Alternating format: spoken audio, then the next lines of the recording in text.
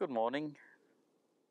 I'm Ralph, uh, and this is Rani here, who's my travel companion for the uh, for the moment. So she's going to be traveling with me uh, on and off. Basically, I can't travel with her when um, I'm going through national parks, and there's times that I'm going to have to go through national parks.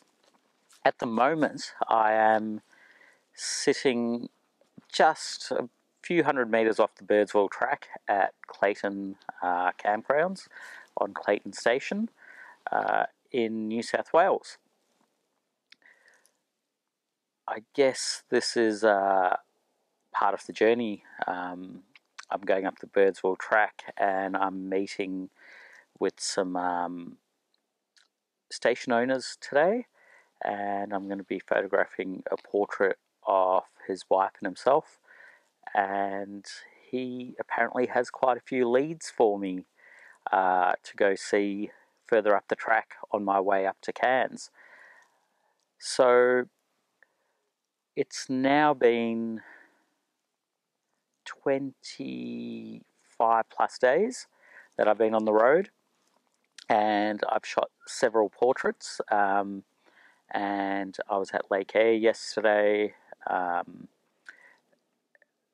on the south side of the main lake uh, right down the bottom um, it's quite busy at William Creek so I sort of avoided avoided uh, that area but um,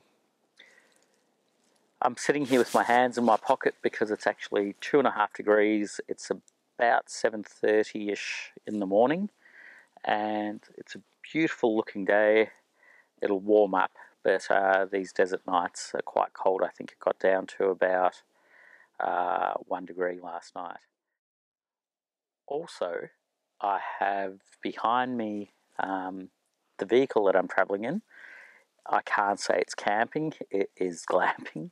Um, it's a vehicle that I will go into more depth with, but basically it's four-wheel drive truck um, with a camper on the back, so I can basically get into areas and beyond areas where most four-wheel drives can't get to. I've got 300 litres of fuel and 440 litres of water let alone two fridges. So uh, I can have them as fridges or freezers. So basically I can go stay remotely for extended period of time.